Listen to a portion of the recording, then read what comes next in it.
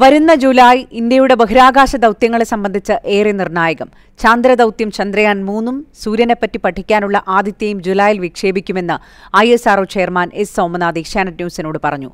ഞങ്ങളുടെ പ്രതിനിധി നടരാജ് പരശുറാം എസ് സോമനാഥുമായി സംസാരിച്ചു. അതിലേക്ക്.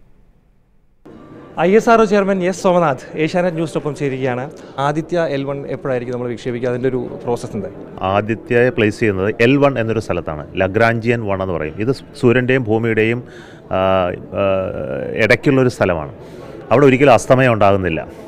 അപ്പോൾ ആ ഒരു പ്രത്യേകത ഉള്ളതുകൊണ്ട് നമുക്ക് സൂര്യനെ പൂർണമായിട്ട് നോക്കിക്കൊണ്ടിരിക്കാം. അപ്പോൾ എന്താ നിങ്ങൾ അതിൽ നിന്ന് നോക്കുന്നത് പറഞ്ഞാൽ സൂര്യനെ സൂര്യന്റെ കൊറോണ എന്ന് പറയുന്ന അതിന്റെ ചുറ്റുമുള്ള ആ ഒരു അതിഭീകരമായൊരു തീയുണ്ടല്ലോ ഹൈഡ്രജൻ കത്തുന്ന തീ. അപ്പോൾ അതിനെ നോക്കിക്കൊണ്ടിരിക്കുകയാണ് അതിൽ നിന്ന് പലപ്പോഴും ഇറപ്ഷൻസ് ഉണ്ടാകും. അതിൽ നിന്ന് പുറപ്പോഴും പുറത്തേക്ക് ഹൈഡ്രജന്റെ ഹീലിയത്തിന്റെ അയണുകളുടെ ഒരു ഇജക്ഷൻ ഉണ്ടാകും. അപ്പോൾ ഇതിനെ നോക്കിക്കണ്ട് പഠിച്ച് ഇതിന്റെ ഒരു പീരിയോഡിസിറ്റി അതിന്റെ മാത്തമാറ്റിക്കൽ മോഡലിംഗ് ഒക്കെ നമ്മുടെ ഒരു പ്രധാന പ്രധാനപ്പെട്ട ഒരു സയൻസ് ഭാഗമാണ്. അപ്പോൾ ഇതാണ് എന്റെ ഉദ്ദേശം. ആദിത്യ എപ്പോഴാണ് ലോഞ്ച് ചെയ്യുന്നത്? ഈ വരുന്ന ജൂലൈയിൽ വിക്ഷേപിക്കും. ചന്ദ്രയാൻ ത്രീയുടെ സ്ഥിതി എന്താണ് സാർ ചന്ദ്രയാൻ ത്രീയും നമുക്ക് ജൂലൈയിൽ തന്നെ വിക്ഷേപിക്കണം. അപ്പോൾ ചന്ദ്രയാൻ ത്രീ ഇന്ന് പൂർണമായും തയ്യാറെടുത്തിരിക്കുകയാണ്.